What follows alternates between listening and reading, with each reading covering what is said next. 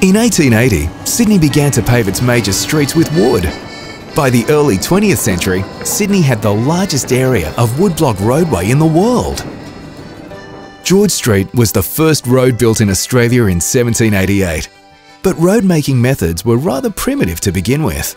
For its first 100 years, George Street threw up clouds of choking dust when it was dry, and it became a muddy quagmire in the wet, even though it was constantly maintained. Other streets could become impassable.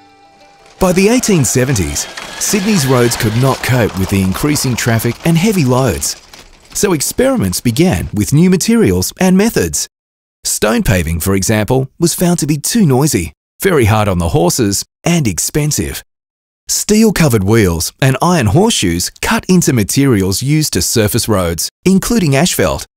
Wood blocks were the most effective, and they were laid in Sydney from 1880.